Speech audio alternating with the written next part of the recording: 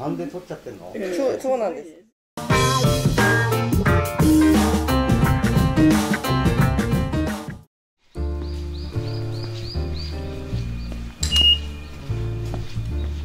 プンです。東武竹沢駅にやってきました。今日は金賞山観音倉山に登っていきたいと思います。東武竹沢駅の東口から地下道を歩いて西口にやってきました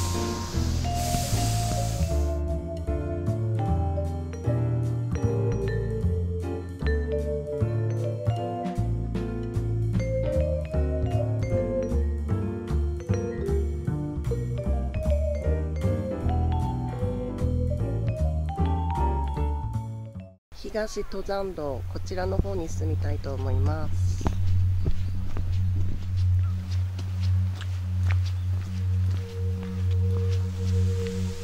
ちら小川元気プラザの方に向かいます。梅雨でジメジメとしてて暑いですがこういうシダ植物もこの時期ならではのものなのでとても気持ちいいです。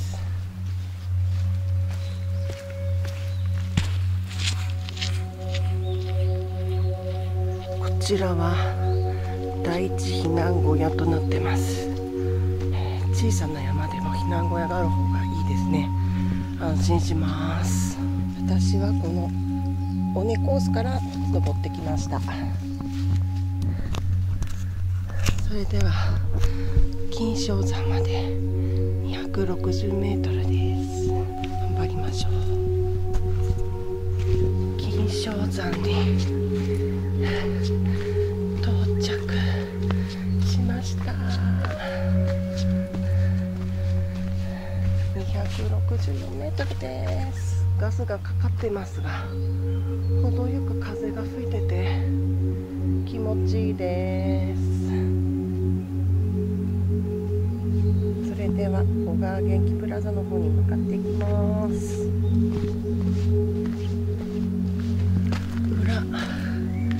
金賞山に到着です。こちら開けたところに出てきました。目の前に見えるのがホンダのより工場らしいです。あちらに見えます目の前のひょこっとなってる山が今から登る観音倉山らしいです。ガスってますね。小川元気プラザになります。プラネタリウムもあるそうです。それでは観音倉山方面に進みたいと思います。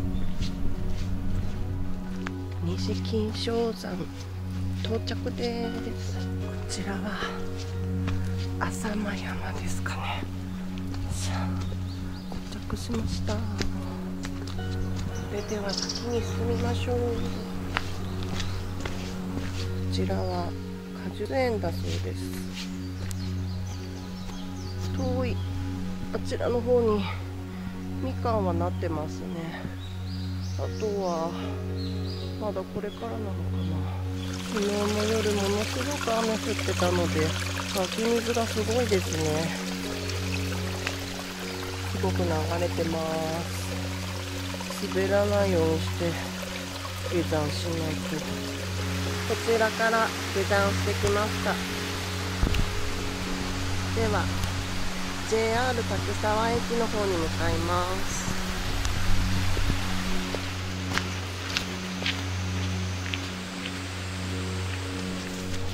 参道にこれから入ります。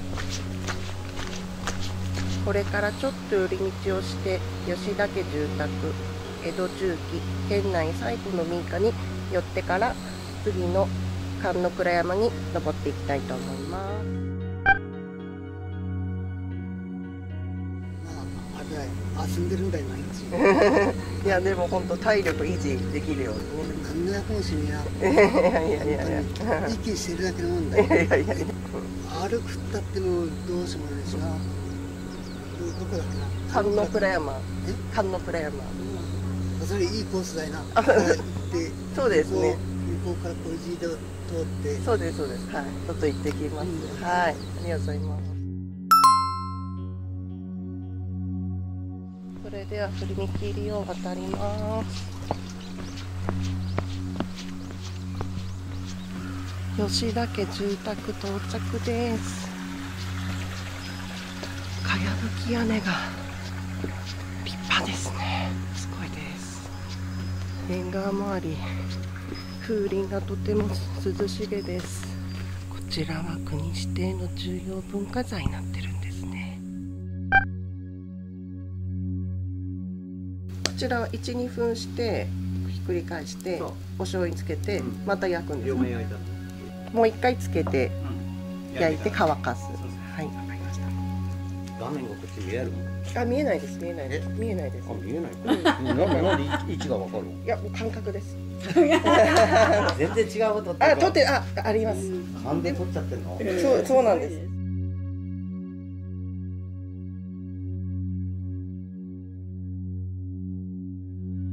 ごちそうさまでした。はい。分山それでは関の倉山に向けて出発したいと思います。先ほどの分岐のところにやってきました。吉田家住宅ではお団子も食べたので頑張って関の倉山まで登っていきたいと思います。天皇池になりますそれでは関の倉山目指して登っていきましょう。関の倉山も昨日の雨の影響でか登山道が交通川のようになってます。関の倉峠到着です。それでは関の倉山山頂。と思います。あともう少しだと思うので頑張りましょう。これが山頂までの最後の登りだと思います。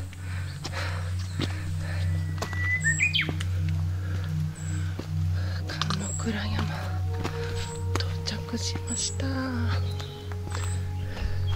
標高344.7メートルです。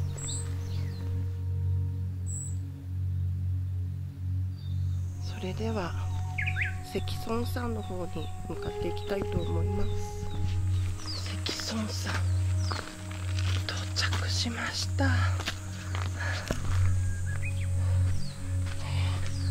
ここからはれてきたので先ほどよりは視界が遠くまで見えます。それでは小川町に向けて歩いていきたいと思います。鎖場注意。ゆっくり一人ずつ登る人の確認。鎖場があるようです。こちらの北向き不動の方に向かっていきます。こちら不動の滝になります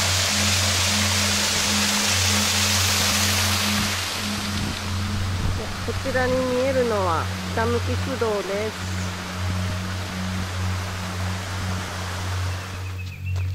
無事ここまで下山してくることができましたここから小川町に向けて楽しく歩いていきましょう。ちらの長福寺小川町駅お帰りコースで帰っていきたいと思います。最後にこういうのが来ると思わなかったのでちょっと楽しいです。今日は金正山観音倉山と登山をしてきましたがどちらも家族連れなので来れるような楽しい山でした。昨日大雨が降ったと思うので登山道が金正山も観音倉山も川のようになってたんですけどちょっとそこが危なかったのでちょっと滑りそうなところは多かったんですが基本はそんなに危険箇所の少ない山だったと思います。とても楽しかったです。途中で立ち寄った吉田家住宅ではとても趣のある古民家でした。いろりでお団子を焼いたんですがそれも香ばしくて美味しかったです。また行きたいなと思います。今日も楽しい山歩きができました。ありがとうございます。駅まで30分。神社の桜並木を経て親切に書いていただいてます。嬉しいです。小川町駅に到着しました。